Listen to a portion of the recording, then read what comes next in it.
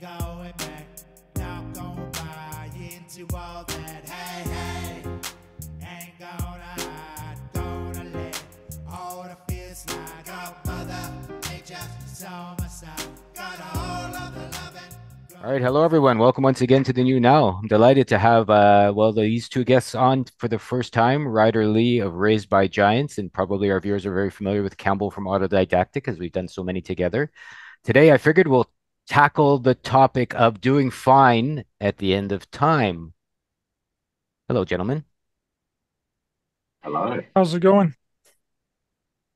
Well, Ryder, Lee, you and I were talking a bit off camera about a little bit. You you've interviewed David DuByne a couple of times, and, and Campbell has had him on as well. And I guess it's a good place to start with end of time scenarios. You know, what's going on, what could be going on, and how to make sure you're doing fine in relation to all of that.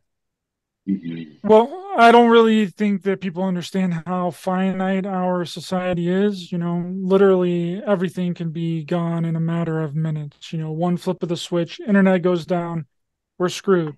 You know, everything has been digitized, documents have been digitized, records have been digitized, money is basically Mhm. digital money. There we've been working with digital money for a really long time. It's not coming, it's already here, right? Banks, books, grocery stores, the post office. And I understand why they did it that way, right? It's for efficiency and, and getting things done quicker. But the problem comes is when your entire system is built on top of that, right? And really nothing is going to last. Nothing really is finite within our reality. Uh, and if the internet goes down, this generation literally has nothing. People, you know, are, are thinking that they're making some form of difference on the internet, and maybe they are. Maybe we are. We we possibly could be, but if everything can just be erased and in 100 200 300 years no one would even know that we existed. And i think that that is a very high possibility. And the last 23 years has been about nothing but the internet. It's how everyone communicates. It's how people get their voice out there through social media. You create content right? And what uh, a lot of people's lives revolve around is the internet. And if you take that away we have nothing. And I'm willing to bet within 100 to 300 years, if the internet is completely wiped, people in the future would not even know that we exist. All of my work has been done on the internet. My channel, my podcast, my documentary, uh, it's all on the internet and it can be taken away very easily. And if by some chance the internet gets wiped, there wouldn't be any physical evidence to prove any of the work that I've done and the work that a lot of other people have done. And people can say, oh, well, make sure everything's backed up onto a hard drive and all that or whatever. And I do that. But there's, this is the thing who's to say that in 100 years time or 200 years time or sometime in the far distant future that people will even be able to use usb drives right or a type c connector we've seen how fast our technology has went it's it used to be floppy disk now no one has a floppy disk drive. You can't even use a floppy disk. They're completely obsolete. So why do we believe that in the future USB drives won't completely be obsolete as well? So that means even if someone finds your hard drive in the future through all the rubble and the collapse of society, if that is the direction that we're going to go, they aren't even going to be able to figure out a way to use it, which I think is the case for a lot of these lost civilizations and a lot of these uh, um, lost communities they were just using a technology that we have absolutely no idea how to figure out because it's so different than ours Well, it takes you right into your studies, Campbell, and Tartaria and Yeah, lost yeah. civilizations. Yeah, yeah. Well, yeah. All, all the ancient, you know, yeah, buildings that look like they've got tech. I mean, I was talking about on an interview the other day that, you know, when we look at that, we, you know, we look at it through the eyes of our civilization, right? So we look at, you know, the Antiquitech and think, oh, well, that was to get power to, you know, to, to tap it so we can run machines and things. But that's probably not what they were doing. I think it was probably a lot more, um, you know, energy based and based on on basically the human body, right? Like like making us more healthy and looking at as our body as, as being the ultimate machine. And and it all these other things just aiding it. Where, and I guess that's the expansive. Uh, you know, I talk a lot about the the nature, the nature grid, natural grid versus the the closed circuit, which is you know the L, the electronic grid, which is what they you know which just runs us around in circles, right? And that's what they want. And yeah, we've got to a point where we're completely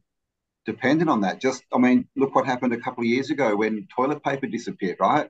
People went crazy, but where did they all head? They headed to the shops, right? Because that's where they they get. That's the only place they know to get stuff. So if if the if you know if the supply chain goes down, which you know they, they want us to think is going to happen, then what happens? So you know, the end game is we've really, you know, we've got to take responsibility for everything, right? We've got to be able to respond to to whatever comes our way, and that's really the greatest knowledge. It's not it's not information, you know, that that's the greatest power. It's the knowledge of what to do with that, right? The knowledge of living again, which again is what sort of they've schooled out of us, right?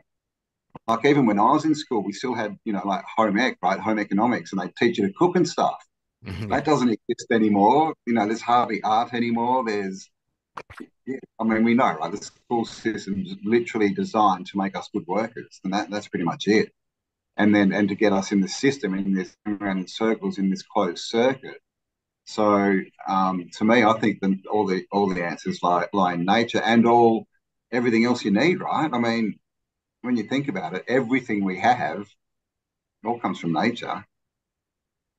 Yeah, it's funny you mentioned that. I bookmarked a uh, an article that said grow your own toilet paper around that time. So for anyone listening that wants to go to nature, grow some mullein plants. Big fuzzy, comfortable leaves that grow out there and grow very well. I remember my dad telling me a story like that. He, he basically said they didn't even have toilet paper back in the 40s and 50s, and they would use like the paper that, that the apples came in. Like, you know, they'd all have a sheet and they'd save that, and so I mean, even toilet papers, it's not that old, and look how dependent we all are on it. On on, it's just, I don't know, it's a weird world.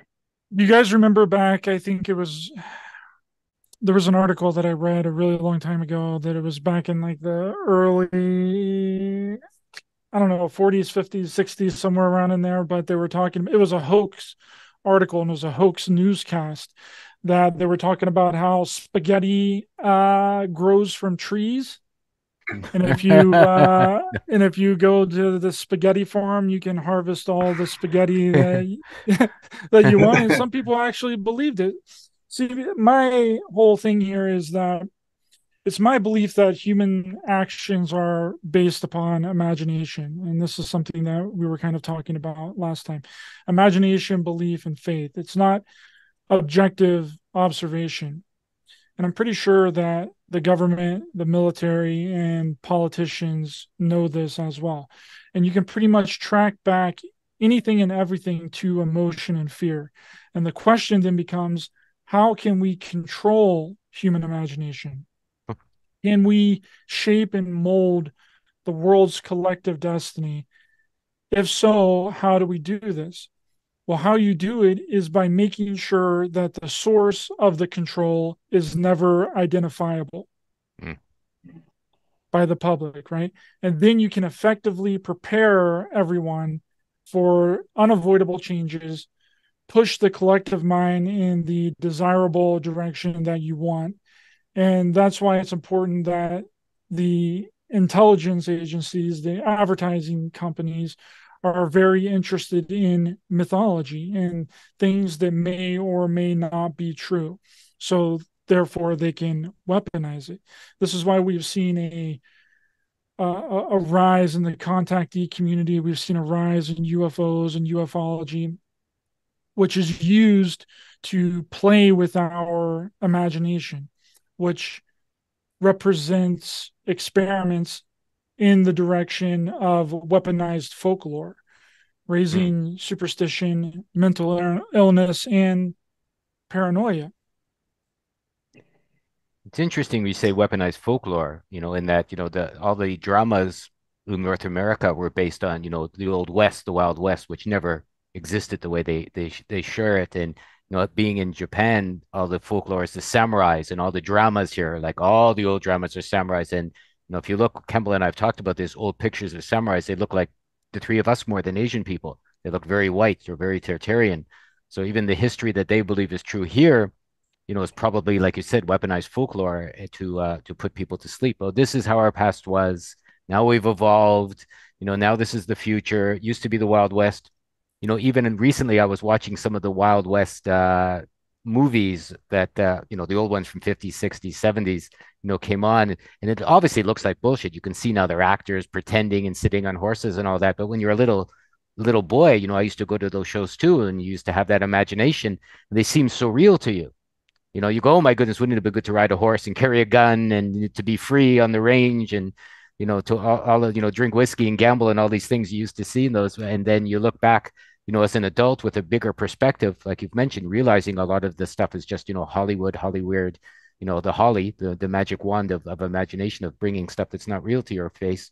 And, uh, you know, you start to see through it, as you said, Ryder, and it allows you to see, like, what do you do now? You know, like how, how do you become fine when you realize all everything you've been passed along, uh, you know, it's like a hangover from the wine the next day and it's all gone. Well, and you see that with yeah. uh, superhero movies nowadays. Uh, sorry, Campbell. Go ahead. Oh, you're right. You go. No, it's all good. I, I talked. I talked for a minute. So just, your, your turn to talk. um, yeah, I call it the overlay. Right. It's like this reality that they try and, and, and lay on top of our real reality, and, and it's an imagined reality, and that's why they have, you know, school, the media, songs, you know, all this. There's so much effort in going into giving us ideas and showing us the world that they want. Because I still think it comes back to that, you know, those who wish to rule us aren't creators, right? They don't have that creative spark. You know, you mentioned before, right, about the world's run off imagination, right? And, and we have that, but they don't. So they they get us to think and to imagine the future they want, and then we create it for them, right? Mm. So so this is you know, really, you know, we, have heard it from all the great philosophers, you know, go inside, right? The answers are inside. And I think that that's true. We need to start asking ourselves and, and contemplating, right? Like spending, because the other thing that this, you know, L circuit does is it's, it's wants our attention, which is probably the greatest commodity at the moment, I think, is attention, right? Um, especially when you look at those that wish to rule us, you know, versus us.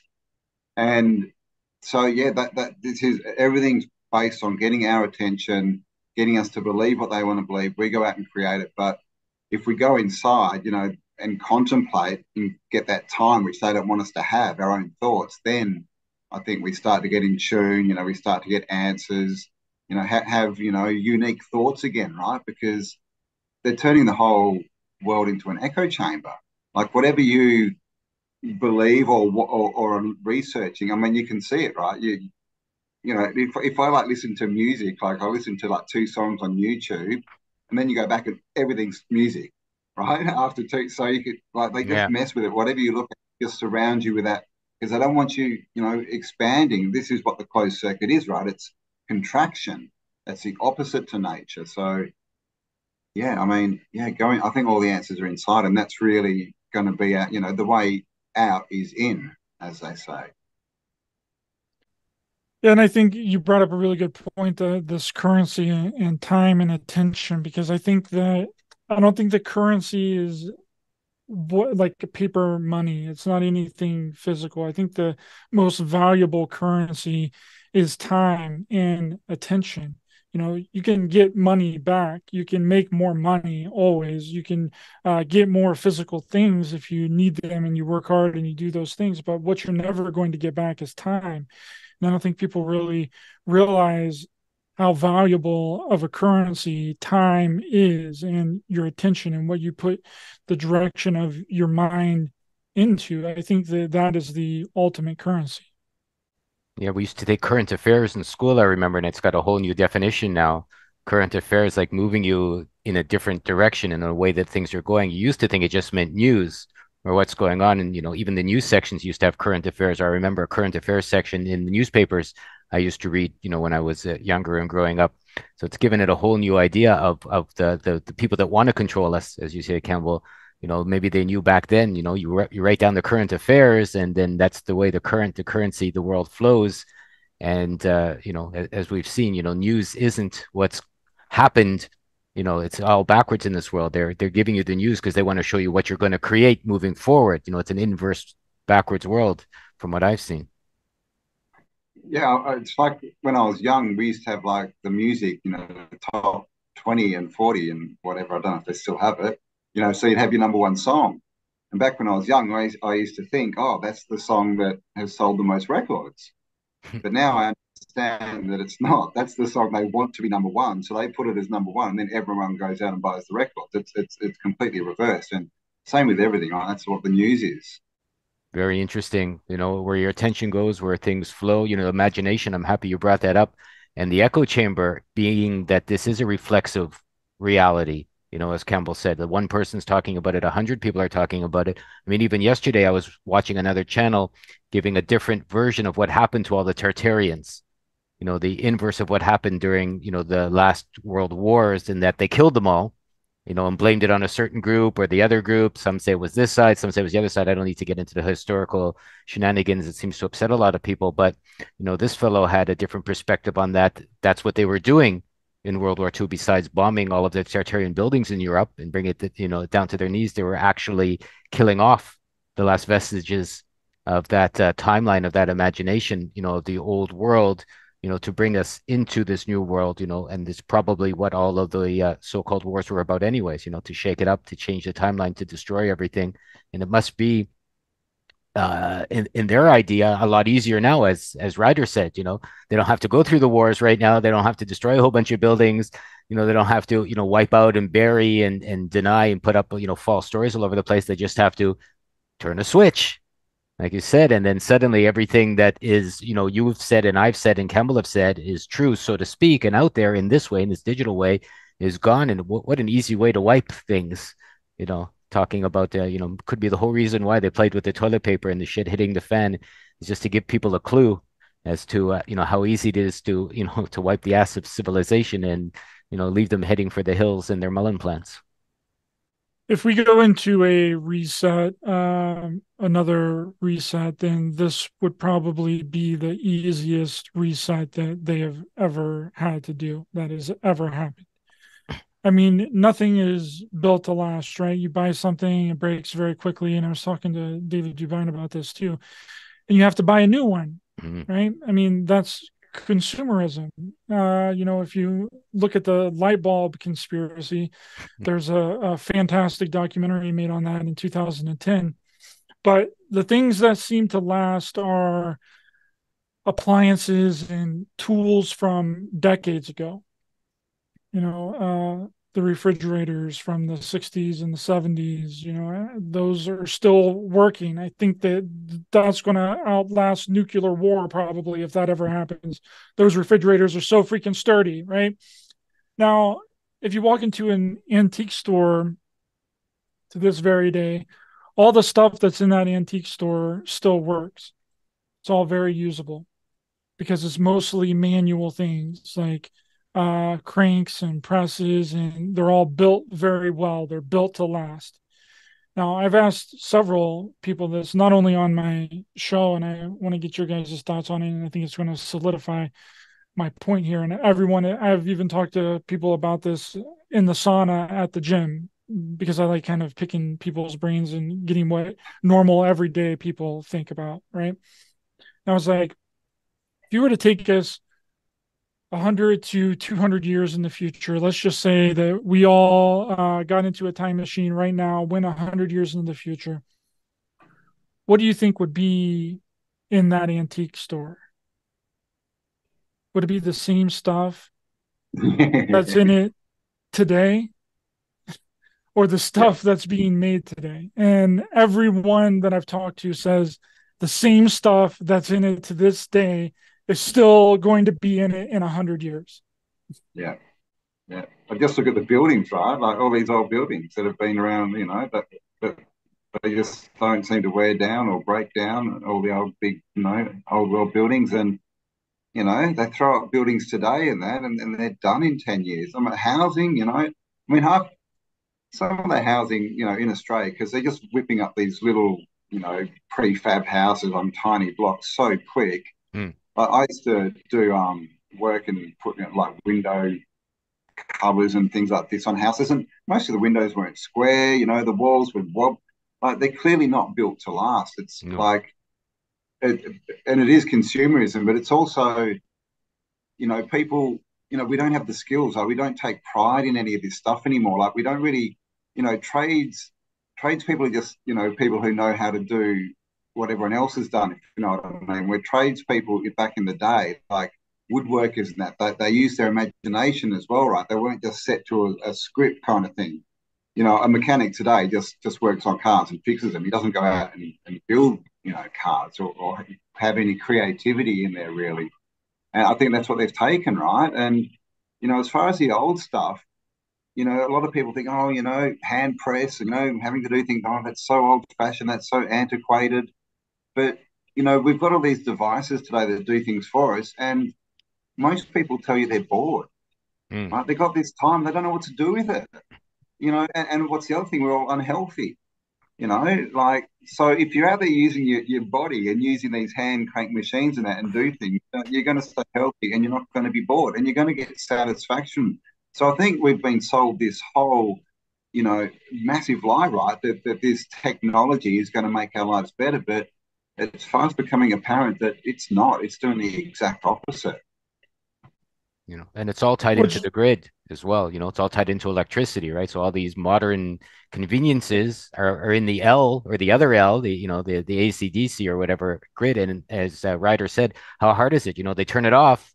You know look at all the Tesla drivers that were stranded in the winter in the United States and they they couldn't uh, charge their cars in Chicago or something. And then you know it used to be you fill up a car you know gas you can go for a full day if it broke you can find the wire that was missing you know, tighten a few screws, you know, blow some uh, dust out of the carburetor, and then you're good to go.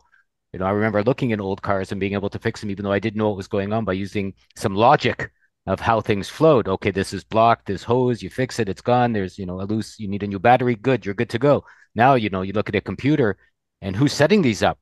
You know, what sort of consciousness, you know, what sort of uh, a life is is working from uh from the this this way of um computer technology, like you said, that's easy to shut off. You know, it seems to me, if we're to like segue a little bit, there could be a little bit of non-human intelligence going on that's kind of directing us towards something that we don't have any control over because we don't naturally know how to fix computers. Right. You know, uh, we don't naturally, like if you look at a car, you can naturally figure out, you used to be able to naturally figure out how it works. You know, I, I talk with a fellow too, like if, you know, you see wood, you burn it, it's like almost a natural thing, right? It's like some heat, you set it up, you do it. You no one needs to really teach you, so to speak. It just seems like a natural flow of how things work. Now you look in a computer, I don't see anything natural about that, you know, not not for me anyways. You know, it, seems like the, a Silicon Valley or Silicon life instead of, you know, organic life, which is, isn't that what they say? You know, a euphemism for that? Oh, that's just organic, like it's a natural flow of things. Like you can just figure it out, you know, your intuition, as you like, or your imagination, which are or should be attached to each other instead of these other things where you look in a cell phone, you go, how does that work? I don't, I don't know. I better buy a new one, you know? Yeah, man, you crack a screen on a cell phone and you got to go and get it. you know, it's like ridiculous. Well, also too, it may be that they make electronics so complicated and uh, to where the a normal person can't figure them out, so that they can run the monopoly on it, so that they are the only ones that can create it, so that nobody else can uh, create a cell phone to create a, a, conflicting company to compete with a lot of these other big companies, right? So they'll be like, "Oh, we'll just we'll just make it as complicated as possible. We'll put all these processors, all these little chips, and all this stuff, so no one can really figure out how it works or how it runs, so that they can't duplicate it, right? I don't know. Yeah, yeah, I agree, man. It just keeps us in the dark. That's why, you know, people keep saying, you know, why doesn't someone create, you know, another internet or another this or and it's it's because, you know, how, how do you even like I don't even know how I would even start or contemplate how to start doing something like that. And even, you know, though we, we kind of imagine that there's all these, you know, really smart people out there that are building all this stuff, I think, you know, the truth is it's it's probably a much smaller group than we think, and they're probably all, you know, owned, right? But but it does seem that there's another intelligence out there, right? I mean, it, you know, before, you know, four years ago, everyone was saying all the time, you know, how do how do we advance so fast? You know, you got the meme of, you know, the, the first plane flight in 1912, and then, you know, by the 19 you know World War One, they had like you know planes everywhere and bombers, and then technology. It's gone very quickly, right? So, is there something behind it? Because now we've got the the rise of AI. You know, what exactly is AI? Because you know, I think there is an AI, but I don't think it's what they're presenting. I don't think it's Chat GTP. I think that's an algorithm. But you know, there seems to be something else out there, right? This this in you know whatever intelligence or something that that seems to be controlling you know a, you know a percentage of our population right to, to basically control us I don't think that that is out of the realm of possibility, but I think the question becomes well, if that's the case and that is true, are they physical or are they not physical? Is it a consciousness? Are they in some sort of physical body? And I don't think so. I think that if that is the case and there is something that is controlling us and again i'm not saying that, that it is true but it would have to be some sort of consciousness it would have to be some sort of um, different uh, entity like a plasma being like a plasma entity or some kind of consciousness entity that would be able to infiltrate into people through consciousness or be born upon the earth through consciousness. So they would put their consciousness into a shell and then they would, uh, you know, go on like that. I'm mm. not in the camp of that there are physical entities outside of our realm. I just don't think that it's possible. And if it is, they're not coming here. They're they're not. Uh, yeah, exactly right. Like why they would just they? can't. A, a physical entity a physical entity that is different than us that lives on a different planet can't just come here uh, we have yeah. a different sun we have a different different atmosphere our oxygen oxygen is different theirs is completely different as well. There's no way that a physical entity from outside of our planet could come here and walk around. I, I 100% believe that that is impossible. Now what they could do again is transfer or take their consciousness from wherever they are and somehow superimpose it or transfer it into a physical shell or avatar which you can get into the uh, you know the, the cyborg uh, talk or the, the clone talk. Now i'm not saying that either one of those things are real but if they are that would be a good reason to create them right? To create a fully animated cyborg or to create a, a clone shell of someone so then you can transfer a consciousness from some entity that is not from here into that clone or into that cyborg entity. And then it can walk mm-hmm. around here i heard that tvs were created to originally you know to communicate with the, the spirit world with the spirits and that was the original wow. intent when they developed the tv you know however long in the 30s or 40s or whenever it was set up and if imagination is real you know we've talked about that you know why wouldn't it be possible for a different kind of life that's not organic. You know, life that's uh, attacking CO2, which seems to be the case right now.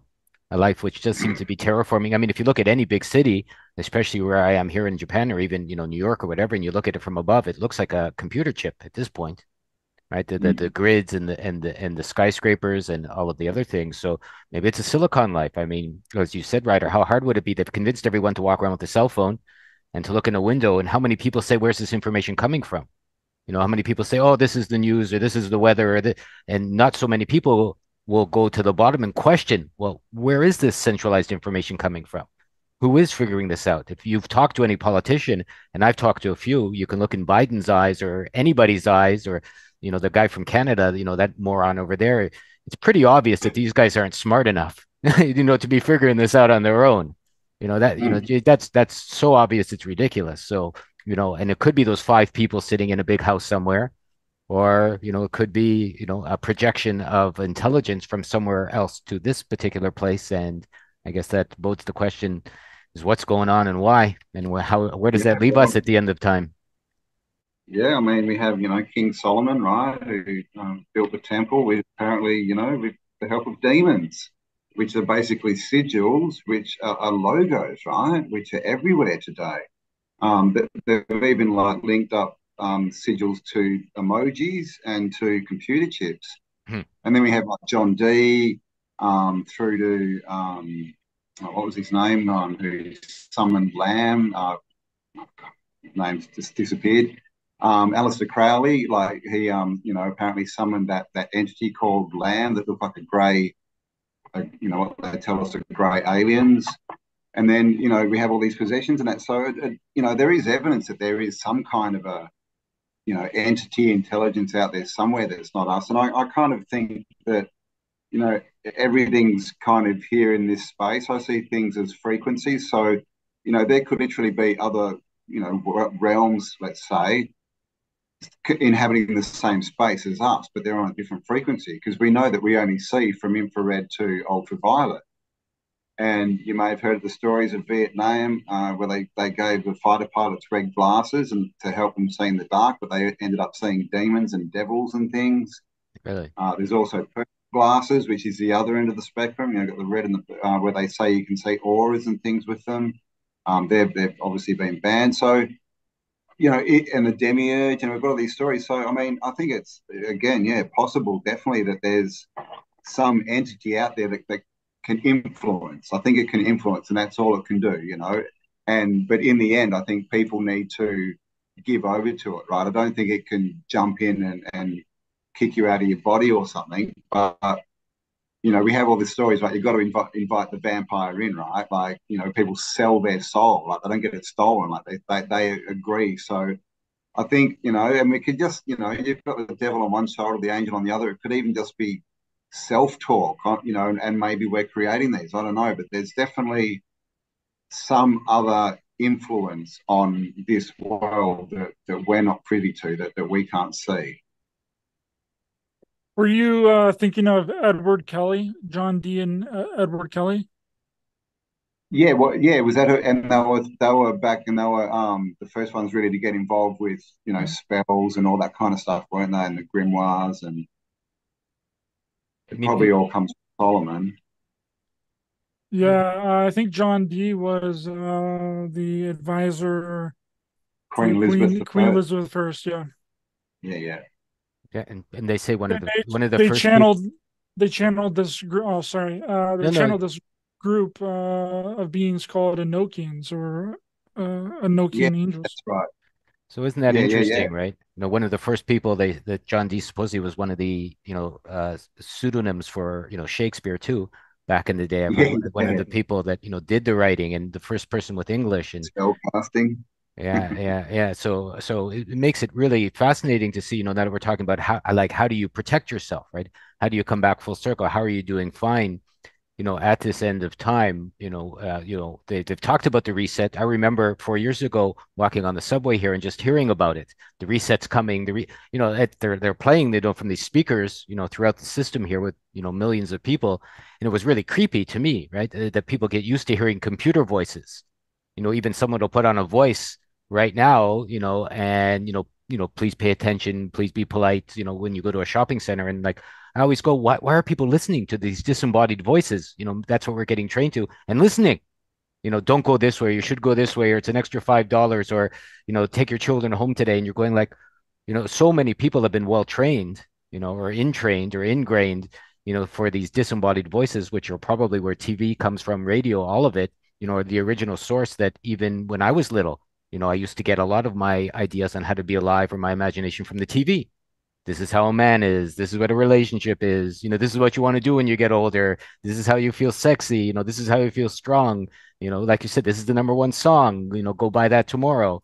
You know, you want to be with the cool kids. You know, this is these are the pants you wear and this is the haircut you have. And everyone's being different while they're being the same. And uh, it's interesting to see how we've been trained to listen to these disembodied voices uh, whether it's from the computer or the cell phone or even a speaker in the school. You know, I go through the schools here and you hear, you know, you used to get those announcements when you were little and you would pay attention to them. You know, another, you know, so maybe more than just the information when you're ingrained and you get schooled could be even how we are trained as we take it back to the beginning of this conversation, how we're trained to use our imagination. You know, instead of using it to create something new, we're using it to recreate what we're being told, which is not to the best benefit of our well, happy, long, and uh, you know, intelligent life. Yeah, really quickly, I want to go back just a few to this John Dee and Edward Kelly thing, uh, because to my knowledge, John Dee and Edward Kelly, uh, these entities that they were channeling, they required blood sacrifice for the information and the technology that they were channeling in. And yeah. I don't know about you guys, but anything that requires any kind of uh, blood sacrifice is probably not the best thing to be communicating with. And yeah. and this is a really wild connection here. So John Dee ended up in prison. Edward Kelly ended up in one of the German kingdoms. So all of the information that they had channeled through these blood offerings went with Edward Kelly to Germany. And Germany wasn't called Germany back then, it was called Prussia. And it was, during that time, it was just a bunch of different kingdoms. But then, if you fast forward into the mid 1800s into the Sonora Aero Club in Northern California, you'll see the, the case of the airship mystery. And who mm-hmm. sponsored this? This was Prussia sponsoring how to create these airship craft.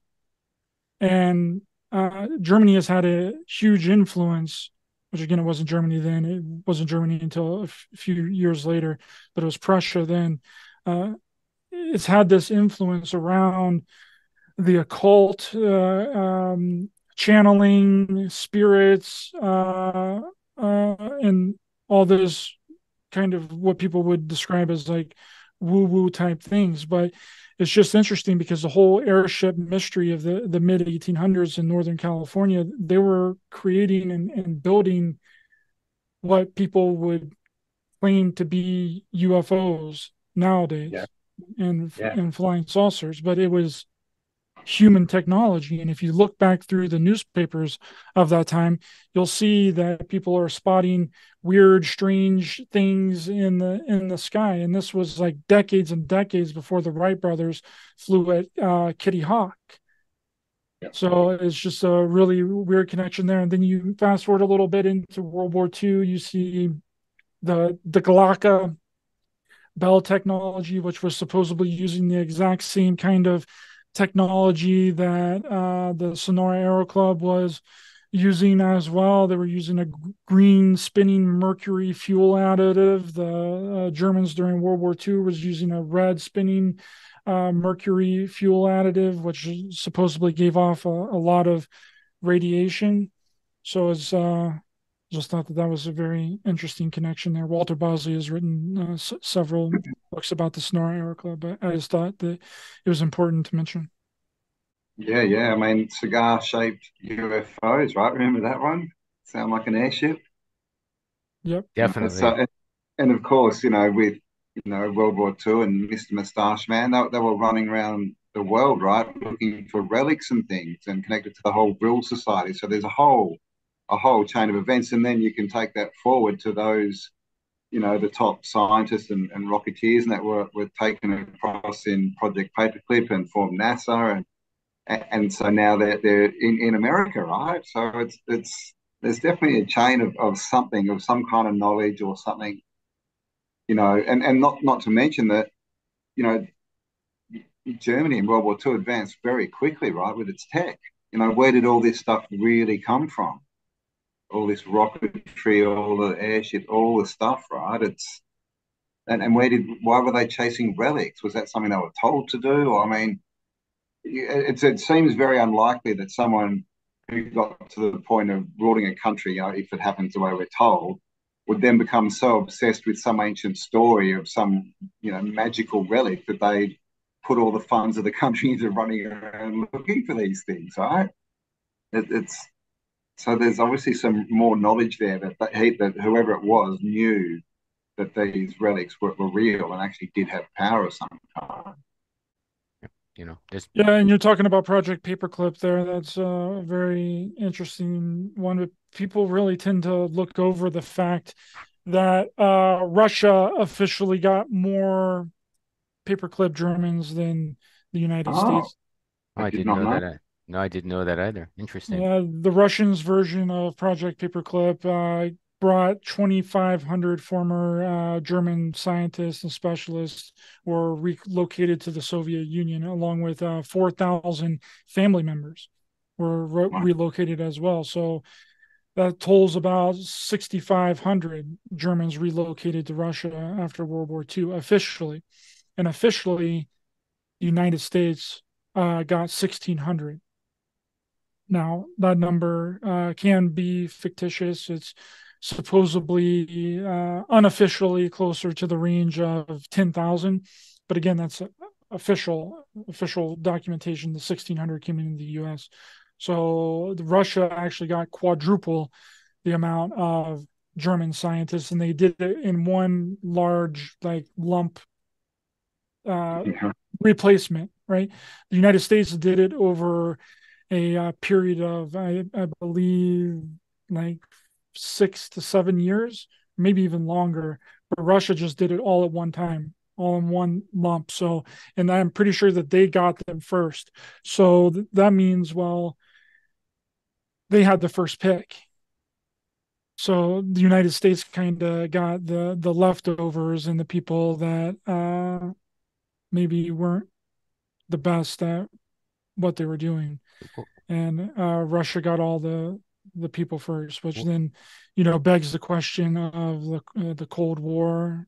You know, like what's going on there? Why did we do that? You know, was it because our Germans yeah. were at odds with each with each other's Germans? Like, I don't know.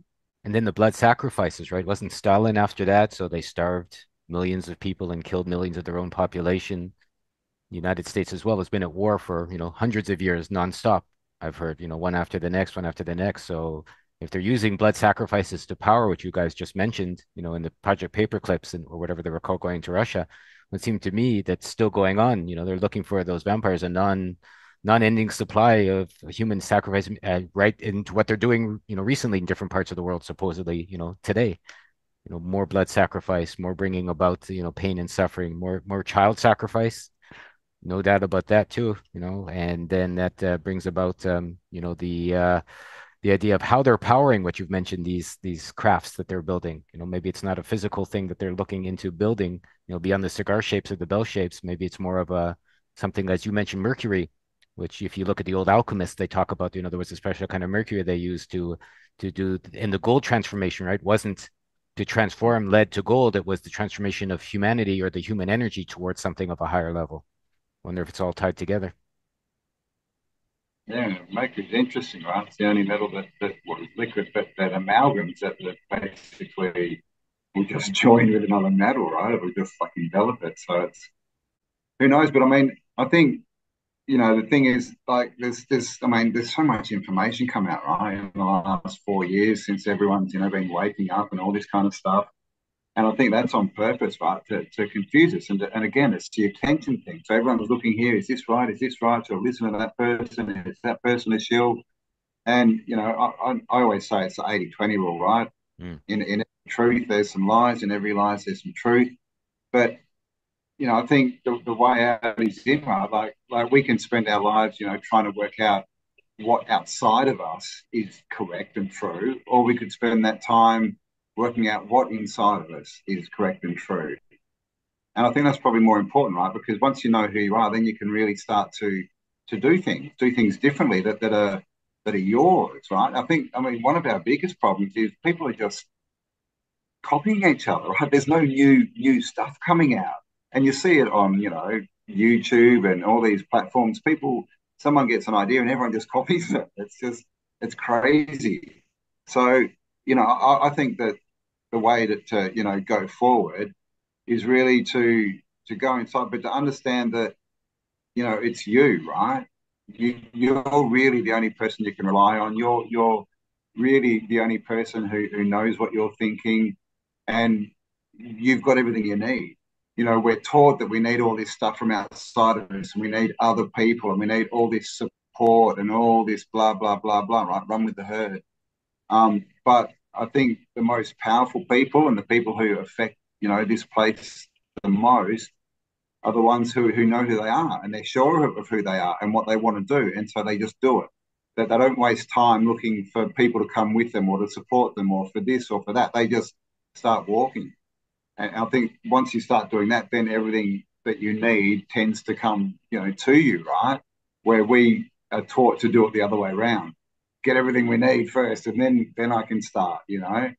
Um, so yeah, I think that's the way forward. Is is really to, you know, we, they've just de- depowered us so much. You know, the average person doesn't really think that they're worth much, doesn't think they can do much to change, you know, anything.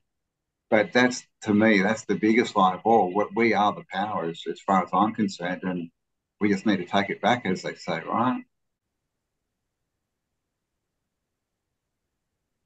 You know, even Ryder mentioned in our last chat, which was very interesting, how, you know, he went through his own challenges and you have to face them a thousand times until you change, which is very inspirational. And a lot of people will try once or twice to do something new and then give up when it doesn't work. And, you know, we've all seen mm. that sometimes, you know, how, how many times did you have to try something new when you were a little boy before you learned how to walk, before you learned how to do well in talking to ladies before you learned, you know, how to dress or dance. I mean, probably instinctively you practiced a thousand times before you learned a new skill. Like how, how much baseball practice do these guys do before they can hit a home run in the major leagues? It's like 20 years practice every day, eight hours a day before they finally figure it out. And in the modern age, you know, as you've said, where people are getting used to instant gratification, they go, oh, I tried that twice, didn't work. Next, where if you really consider the deeper aspects of how you learn, you know maybe you have to do something for 10 years you know before you become an expert at it you know a thousand times before you figure mm-hmm. it out you know maybe that's how you know as campbell said you do find at the end of time is figure out what you need to do and don't give up if it doesn't work the first second or 100th time. That's mm-hmm. very important because everyone learns in a different kind of way. And i think that that has been the problem with the school systems. I know we talked a little bit about the school systems uh, on our previous show, uh, but they want to blanket everybody with the same kind of learning uh, curriculum, right? When that's not how everyone learns. So therefore, you get people that don't learn that way and they can't get a hold of it. See, I've always learned from repetition and watching other people kind of do things. And uh, if I can watch someone do something a few times in a row, uh, then I can mostly do it. That's how I played musical instruments growing up was uh, by memory, by muscle memory. Uh, watch someone play something, then I would be able to play it. You know, and other people learn in different ways. A lot of some people learn by like studying things and and reading books, and uh, which you know I, I read as well. But I think that we've gotten to a point within our society that we've just tried to take the, the, the, we've been led to believe that the same type of learning process works for everyone when it doesn't. And no one has that individuality like a, a teacher or a uh, I mean even in college it goes all the way up in into college. They don't really take that one or two or handful of people aside and be like hey here's another way that you can figure this stuff out. And when people they whenever especially children they'll they'll think that they're dumb or they'll think that they're not smart or they'll, they'll think that they're stupid because they can't learn the same way that other people learn and they think well why am i not understanding this why am i not getting this well it's because the curriculum and the way that it's being taught to you isn't the way that you comprehend things mm. and yep. that's been i think a huge downfall of our society as a whole is there's not any individualism to the school system, to the, uh, the the colleges, and to education. It's just all blanketed with the exact same rules, the exact same curriculum, and there's no individuality to it. Yeah, man, be autodidactic. so, you know, self-education, right? Like I remember with maths, like when I was in school, that they'd even make you do like show you're working out, and the working out had to be a certain way, and my brain didn't work that way, and I'd always do it a different way. And my way was much quicker, by the way, much much less steps than that. Um, and I'd always get the right answer, but I'd always get marked down because I hadn't done the working out there. But, but I refused to. I was just like, well, that's dumb. I don't understand it. Um, but this is the thing. Most people, yeah, get, get sort of hammered and think, oh, it's me. I'm the stupid one. Where I guess I was lucky and arrogant enough to think that the, the teachers were stupid and I was right, so I just kept going. Um, but but it's you know th- this is the thing. They just want to control, just control our thought process. So, you know, the the, the further you can get away from that, and you know, I used to think a lot about this concept of, um, you know, natural thought or, or original thought, and the fact that we just don't have it. We we it's very very rare, right? Even even in your own mind to have original thoughts. Like most of the stuff, it's playbacks of other stuff or other people's opinions. So, you know, just focusing on that, like like what what's what what's my thought? You know, what am I thinking? What's my message? Just you know, in in whichever way, right? Meditation, Mm. you know, and meditation can be anything. It can be gardening. It can be working on a car, right? And then suddenly you get it. Oh, that's what. That's how to fix it. You know, but when you we're we're trained so much to just repeat, repeat, repeat, right? School again. You know, the teacher stands up there, gives you information, and the, you're only smart if you can repeat back. Okay, fellows, You know, I'm going to take a you- short if you break. can think Keep, of a different keep sharing. Oh, yep. So yeah, yeah. I mean, it's it's that's that's a change we've got to break, right? Um, know, I've said I've, one of my favorite sayings is the statue is not not finished when there's nothing more to add. It's finished when there's nothing more to take away. And I think that's what happens to us. We get all this crap put on us, and then it's the job of us stripping away and knowing what to get rid of. And then we get left with ourselves, and then we can start to think clearly again. Yeah, I agree with that. And uh, you're very lucky, and uh, several of us are very lucky within school that we just uh, we doubled down on our own thought process, and we were like, "Hey, like this is the way that works for me," and we didn't get dissuaded by uh, teachers and and people telling us uh, the way that they think we should be doing stuff. And I think that that's a very important thing because I don't believe that a, a lot of people can do that, uh, and it's very unfortunate that that it's that way. And when you look at, because I've known several people throughout my life that uh, got involved in, you know, uh, drugs and uh, became major alcoholics because they were just different than everyone else. They couldn't find their home of people. They couldn't find their group of people. So then they just turned to uh, drugs and alcohol to fill that void within themselves, you know, and not really realizing that this is a lonely journey.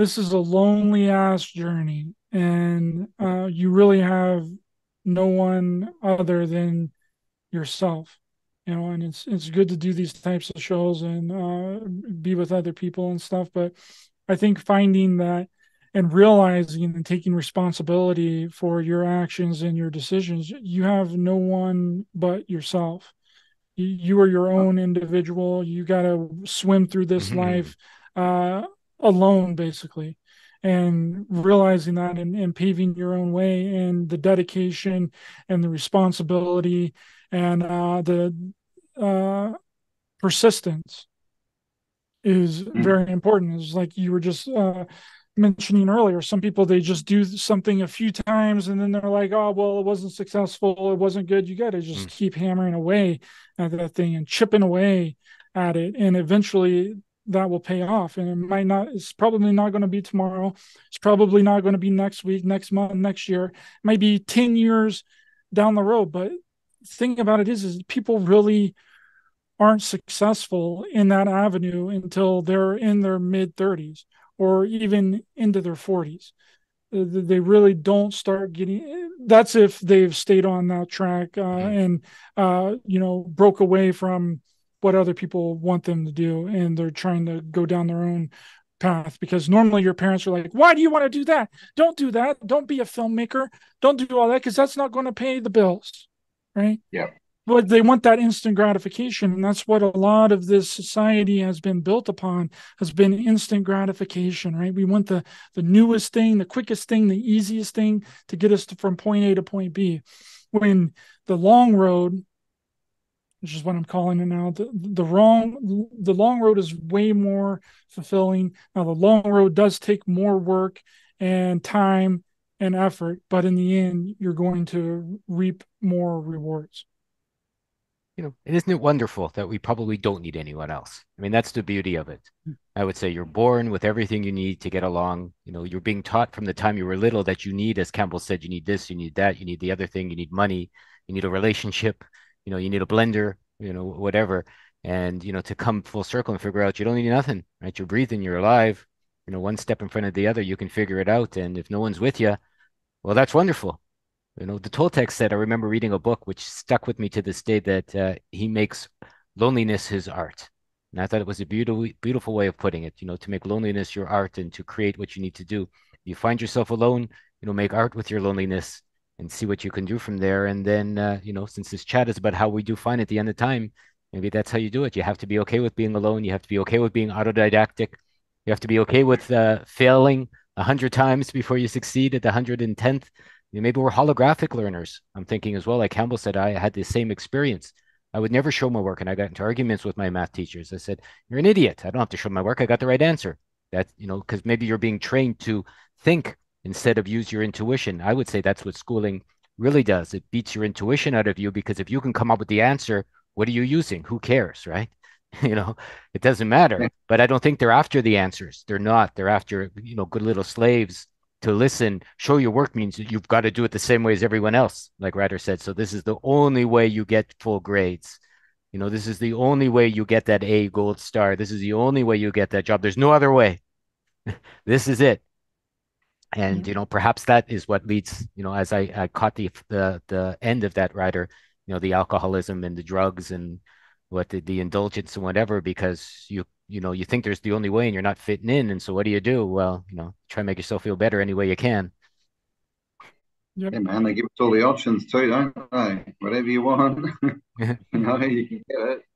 Um but you know but if it's a natural herb then you probably can't but yeah, mistakes, right? Everything, everything, you know, take one, take two. This is what people think it's, it's a mistake, but it's not. It's just a mistake, right? So you just take take two, take a hundred, just keep going until you until you get there. But this, I, I think, is also from people don't believe in themselves. That they don't think they've they've got what it takes, and and and subconsciously they're telling themselves, "I'm going to fail. I can't do this." But in the conscious mind, they're like, oh, I'm going to do it. I'll give it a go. But of course, the subconscious wins. And like two or three times, they're like, oh, see, I was right. I knew it wouldn't work. Um, and of course, you know, it, it's all starting to do with the subconscious, which is what they work on, right, to program us. But I mean, I've just personally, I've just over the last, you know, kind of week or so, really sort of come to terms with that, that, that it is only you, right? It is, it'd be great to have help and it'd be great to have this and it'd be great to have that. But the thing is, you know, we can't change other people. We can influence them, but we can't, you know, we can't make people come along and want our dream or want our goals. Um, but like I said before, if, if we have, you know, the courage to, to walk and to keep going in that direction and to believe in it, then the people we need tend to show up anyway, right? Mm. But but you know, just in my life, I still was thinking, you know, oh, I want to get this done, you know, and I'd, I'd be thinking, oh, I need this person or this person could help me with it.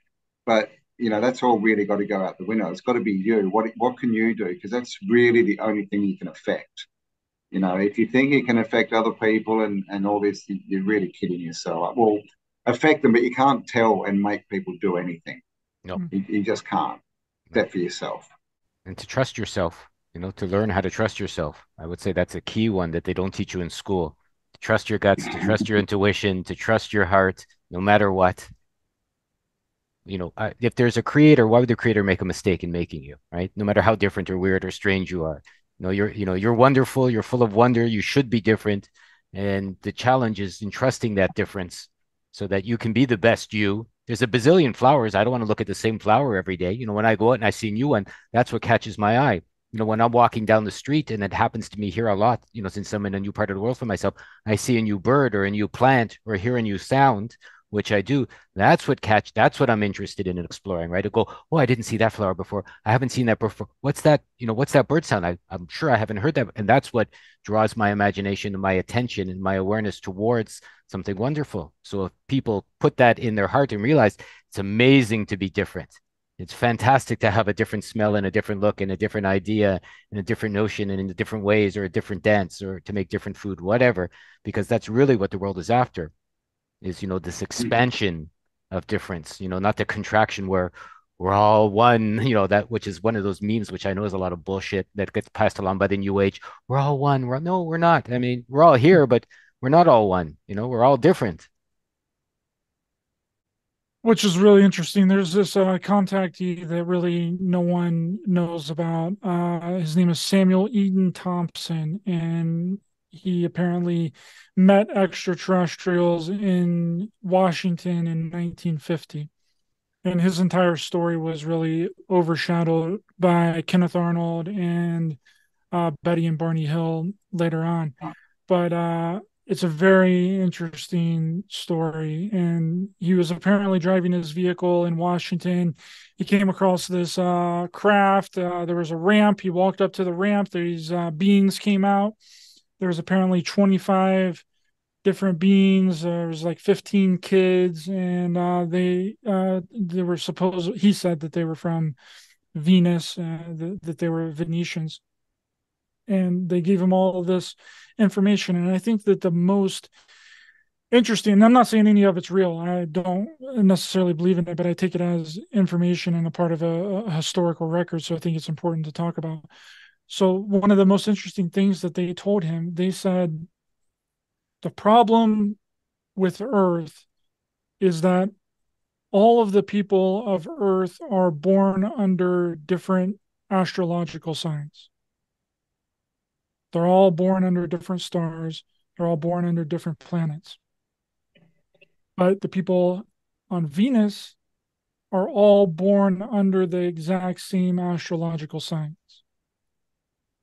So they're like a hive mind, right? Mm. And see, I don't take that as a negative thing. I don't think that it's a negative thing that we're all born under different astrological signs because you can get into astrology and all that and and see that the stars really do make a difference in our life if you get a really really good astrological reading that person can literally tell you everything that's happened to you in your life and tell you what uh, may happen to you in the future. So it really does, uh, astrology really does make a difference in cultivating and creating our personality and uh, the way that we live and the events that may or may not happen in the future. But I don't take that as like a bad thing because I think that that's what makes us special here is that we all are different we all are born under different astrological signs. No one is born under the exact same astrological signs at any given time, and that makes us very, very special here. And uh, and some people would be like, "Oh well, I want the utopian type of type of uh, hive mind where everyone gets along and everyone's peaceful." Well, that's the freaking new world order, dude. Yeah. yeah.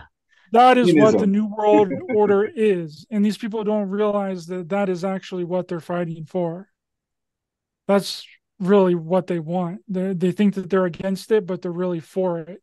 If they want everything to be peace and everything to be harmony in this golden age, that is a dictatorship. Yeah. That's not this freedom that people think that it is.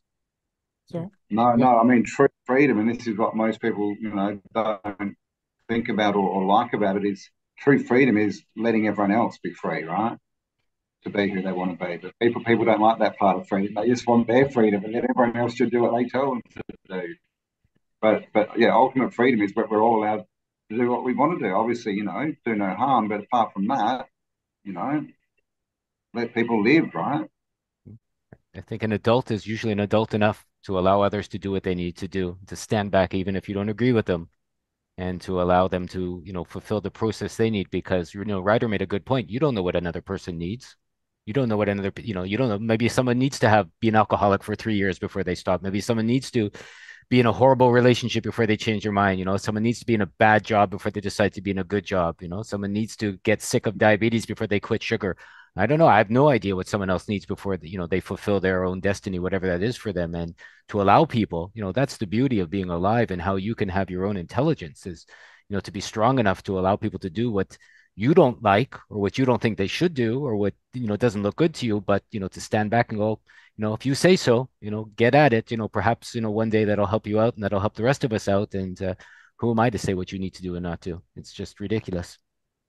Yeah, well, this is a big thing that's gone on in the last, you know, couple of years, right? Everyone running around trying to wake people up. Yeah.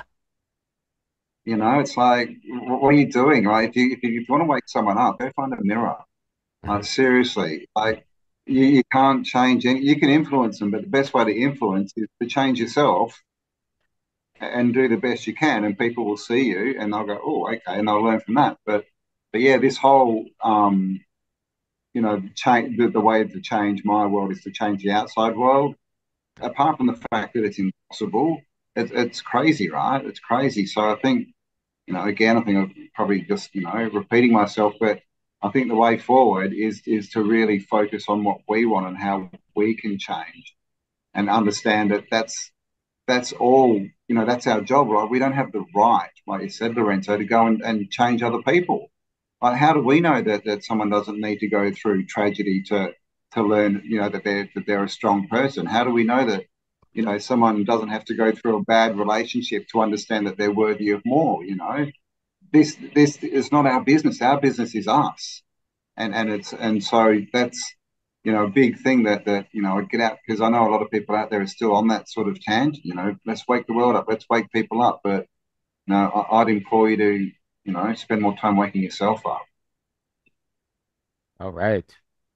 Yeah, and and not only that too, the the whole wake people up Mhm. thing is is completely ridiculous and is is so backwards because 90% of the information that they would give to wake somebody up is wrong, you know, and uh th that's a r- really big problem as well, and it's getting people on a uh getting people off base of of actually looking into uh themselves and, and going within to figure out what's actually happening with them. And i agree with the that it's a it's an individual thing and people should be leading by example and not telling people what to believe and just you know letting letting it go. And if people find what i've said interesting then great. If it changed something it gave them a new thought process then great. If something that campbell said changed somebody uh, then great like it, it shoving things down people's throats doesn't help. It doesn't do anything. It actually turns them away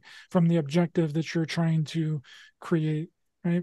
It's just about kind of mm. just planting seeds, just just Planting throw a little interesting thing in there every once in a while. You know, that's what I do with normal everyday people that isn't a part of this echo chamber that we've created in this community like just you know people mm-hmm. that I, I have a conversation with in the grocery store or at the gym or like wherever it is that i that i am i play stupid with those people you know because they don't want to listen to someone preaching to them.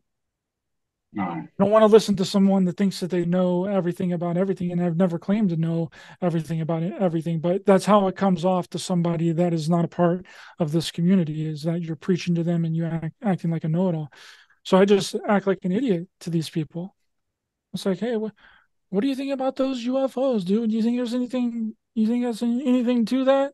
You know, what do you think it's military technology? And I'm like, what do you think about history? What, what do you think about the pyramids, dude? You think the how did they build those pyramids, bro? You know, and I just like like I think that that's more important than uh, going off on a long, huge tangent on uh, normal, everyday people about what you believe. It's better to ask them and then kind of interject some interesting thoughts into the conversation along the way. I think that that does more than uh, telling them anything.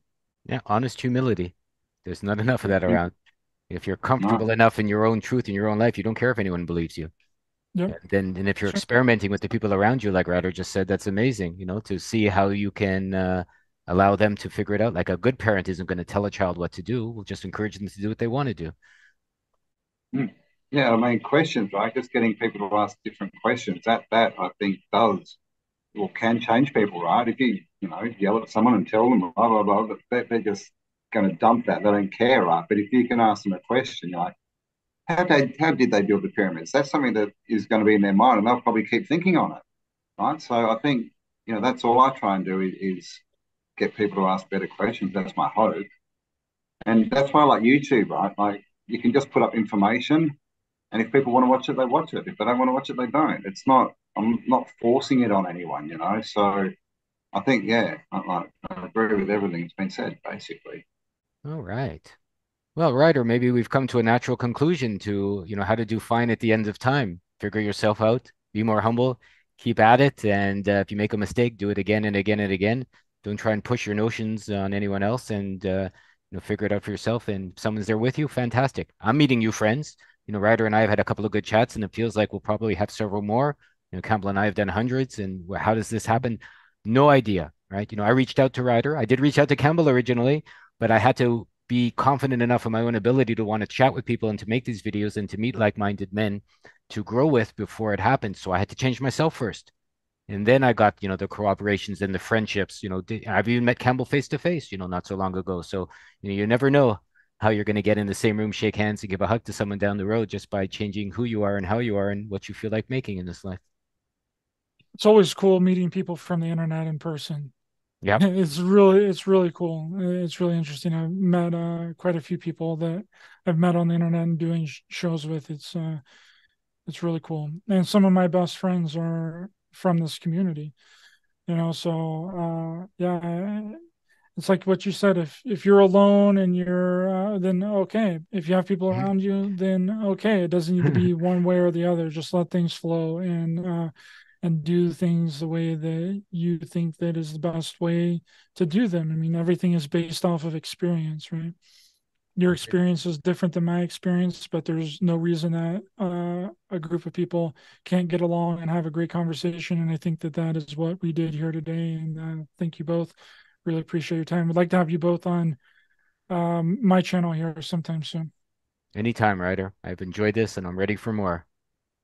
Yeah, nice to meet you, Ryder. Yeah, yeah. And everyone out there, yeah, like just I think trust yourself.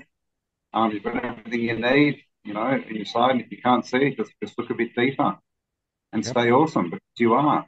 Stay awesome, be yourself, keep trying. I love you all very much. Ryder, thank you so much for being here. Campbell, last second, I appreciate you being here as well. This has been an amazing chat. I'm gonna get it up real soon. I'll let you guys know when it's live, and I hope to see you all very, very soon. Bye for now.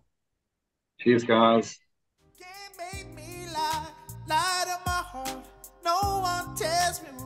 Should start. Freedom first is what I say. Nothing now gonna get way.